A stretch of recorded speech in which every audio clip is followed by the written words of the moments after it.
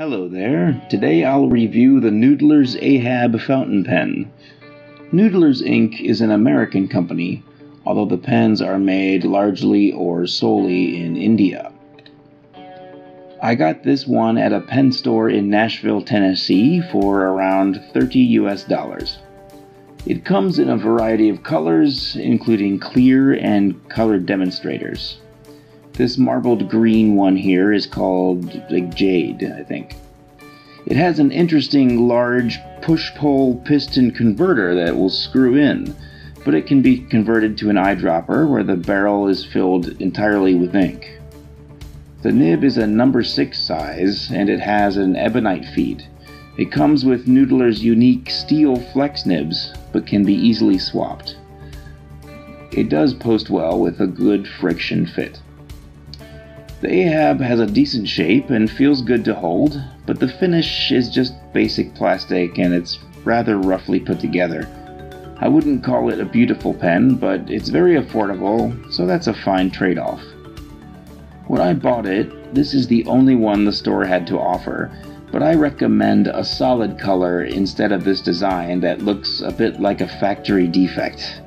Uh, there's not much metal in it, but the plastic is thick and it holds a lot of ink, so it doesn't feel too lightweight overall. I wouldn't call this a classy pen, but it does write very well. But more on that later. The build quality is reliable, although not at all seamless. It'll be a workhorse, but not an elegant one. The clip is designed to mimic the shape of a sperm whale, which is illustrated on an excellent instruction page that comes with the pen. It has a firm clip with uh, plenty of usable give to it, and it's arched far enough out that you can pinch it to open it and get it over a stubborn, thick pocket. Uh, the pen has a screw cap that takes two and a half turns, which I think is a bit too much for steady capping and uncapping all the time. It posts firmly and it won't fall off, but there isn't a reassuring click, and it can be a little crooked. Nevertheless, an intentional post will keep it secure. The filling system is somewhat unique. Other pens have pistons too, and converter pistons, but this special screw-on piston converter is just for this pen and it holds a large amount of ink, much more than a standard international converter. And that really helps because when flexing, this pen can use up a lot of ink quickly. It's possible to convert this pen to an eyedropper since the barrel has no seams nor holes nor metal components, but it will require silicone grease on the threads and an extra O-ring seal.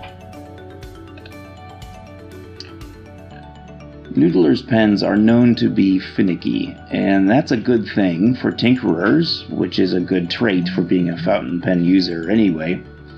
However, it can be a bit troublesome to get the nib and feed aligned just right. If the nib is too far out, the ink doesn't flow well. If the nib is too far in, there isn't much flex. So you have to move it around yourself and get a good sweet spot and balance between the length of the, or how, far the nib sticks out, rather.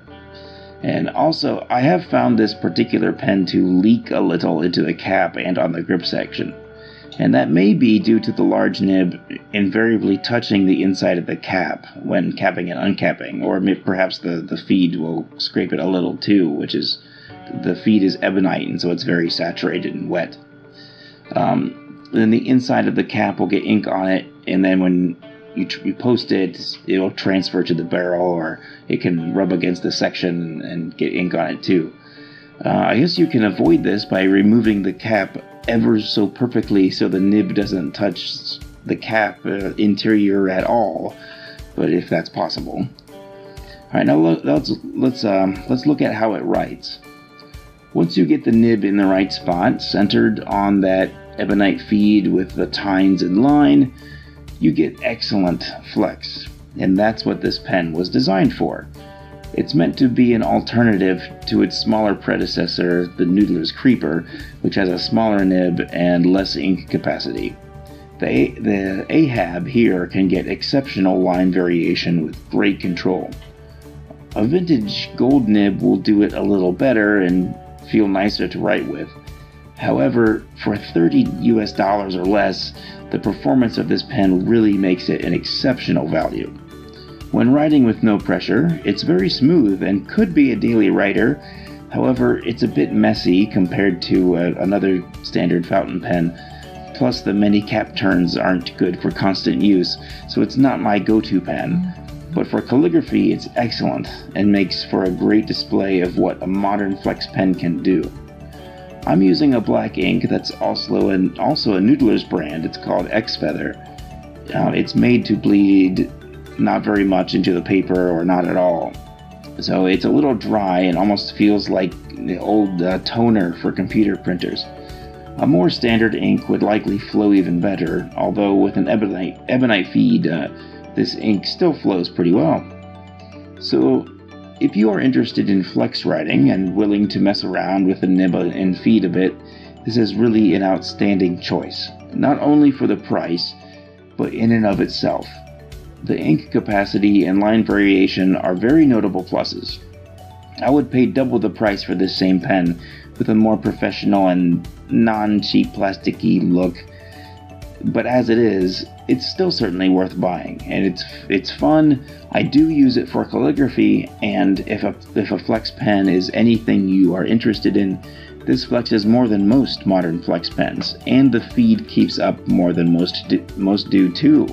So it's a perfect choice for beginner or to intermediate or even a professional for flex writing. Mm-hmm. All right, enjoy. Thank you very much.